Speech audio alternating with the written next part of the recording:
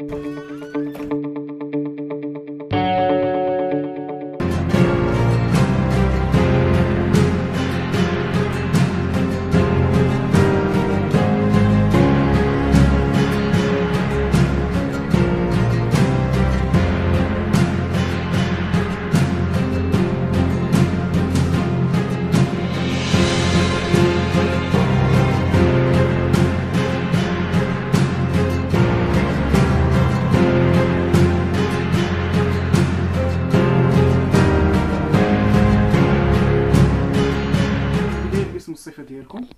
السلام عليكم ورحمة الله. عز الدين بي واحد وثلاثين سنة. أه كنسكن حاليا في كازا الأصل ديالي من أسفي. اختارت هذا الربع على أساس نظرا للمصاعب والمشاكل اللي كيتعرضوا لها رجال الإطفاء أه اختارت هذا الربع باش ما ما نبقاوش نزجو بالعنصر الب- البشري في في مكان الحريق لأنه كيكون عندنا هنا أبوات ناسفة بزاف مواد شديدة الانفجار. لهذا نظرا للاحتراقات في الموسم ديال الصيف. آه، الطائرات ما يمكنش لينا عندناش الإمكانيات ما عندناش آه، نختار هذا الروبو باش على الأقل يعاون واخا بنسبة طفيفة. وهذا الروبو راه كصالح للمباني يعني الغابات لا دخلتي دخلتي لهم هذا الروبو؟ راه ما غادي ما غادي ما والو.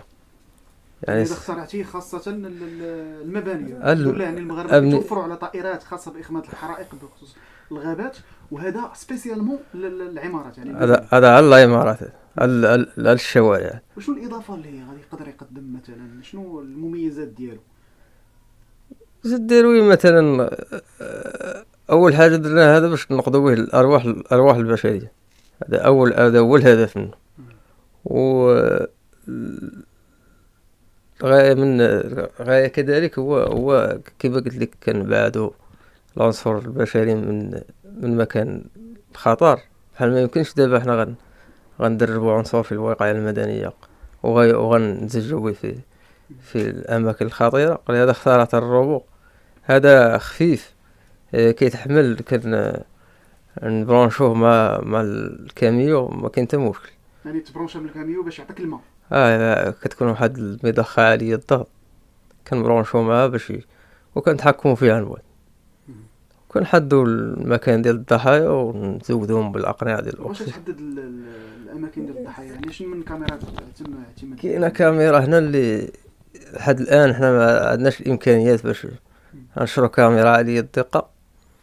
هذا كاميرا عادية وملي غن كل الإمكانيات غنشرو كاميرات حرارية كاميرا يعني كتخترق الجدار ديال يكون الدخان آه، كثافه ديال الدخان يعني آه، الكاميرا الحرارية تقدر تبين لك فين الناس عايشة فين كاينة وفين باقا باقا حية. لا كاينة كاميرا اللي تخترق لذاك الجدار ديال الدخان.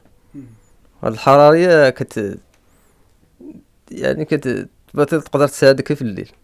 واخا عز الدين شنو من النيفو عندك؟ الدراسي نيفو أنا أولى بكالوريا علوم تجريبيه علاش ما كملتيش الدراسه ديالك؟ كملت الدراسة ديالي على حساب كنت درت واحد العملية و... وتما توقفت الدراسة ديالي. كنت نعست في سبيطار وصافي بحال فشلت. مبقاش قادر نرجع ولكن بقيتي دائما يعني مولوع بهذا ال- لا لا أنا مصر على الشيء ما ما يحيدوش لي شي واحد. هادشي واخا كاع واخا يكون أنا أصلا وصلت واحد النيفو في في, في الأموال في الحياة هادشي ما يتحيدش. يعني مره مرة خاصني نكتشف خاصني يعني هي هادي الحياة شنو الحلاوه المعدات دي اللي اعتمدتي عليها؟ كيفاش كتحكم عن بعد؟ شنو؟ أنا شفت داير تليفون وشفت ليمانات التليفون اللي دايرو أنا دابا ما عنديش باش نشري بيسي. ما عنديش الإمكانية بيسي كيدير 8000 درهم 10000 درهم. هذا دابا استعنت بالتليفون الهاتف النقال. ودرت التقنيه ديال الواتساب هي اللي كتنقل لينا الصورة مباشرة من المكان الحديث. ل- عندنا الجهاز التحكم وكيفاش كتحكم؟ التحكم أشعة أشعة تحت الحمراء عادية دابا ما ما عندناش شي شي مدى بعيد ولكن يعني كون كان عندك إمكانيات أخرى كنتي غادي دير بزاف د الحوايج في هذا آه كون كان عندي الإمكانيات راه غن- غندير بزاف ديال الحوايج وغندير روبوتات مطورة وكتطلع مع الدروج وكتخترق الشقق وكت بزاف تقدر تطلع حتى السطح ولكن الله غالب ما عندنا ما ندير وشحال كلف لك هذا الاختراع مثلا؟ ديال الوقت. الوقت دابا شي ستة اشهر تقريبا. دابا الفكرة كانت عندك ولكن طلب لك ست شهور ديال حيت ملي كتبدا تطبق كت... كتفشل بزاف ديال المر. كتبقى تبقى كت... ودابا راه دابا ملي توفقنا فيه الحمد لله. ودابا ماشي هو راه يعطي الفعالية ديالو. هذا نموذج. ولكن مدى قاصر. يتطور. هو مطور ولكن خاصو خاصو ديك الأجهزة اللي فيه خاصها تكون ما تلقاهاش هنا في المغرب خاصك يعني إلا خدمتي على القاعدة على la base فيها باش تحرك فيها باش تحكم فيها كلشي. باش تشوف فيها حتى باش تطفي العافية. كل شيء فيها راه غير غير غير ال logistique اللي ما عندناش هاد هادشي ديال les accessoires بحال هاد الكاميرات وجهاز التحكم إلا غضرب في مي- 300 متر ولا 400 ما ما متوفرش لحد الآن ما كاينش واخا شنو الرسالة ديالك تبغي تقولها للمسؤولين؟ رس- اللي كيشوفوك. الرسالة ديال المسؤولين هي بغينا شي مؤسسة ل- تحتضنك تحتضنني ونخدم فيها بشكل قانوني. تكون حتى الحماية ماشي هادشي دايرو كتبقى معرض ديما ل- تخت- يعني كاين مخاطر؟ كاين شي مخاطر ولكن الهضرة ديال بنادم هي اللي كد... هي اللي فيها المخاطر.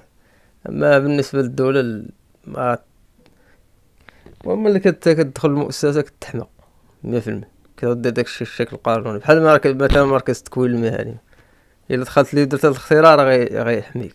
إلا جات شي دولة وبغات تشري من عندك هذا الاختراع تخليها ليها ولا تبغي يبقى المغرب؟ آه، يبقى.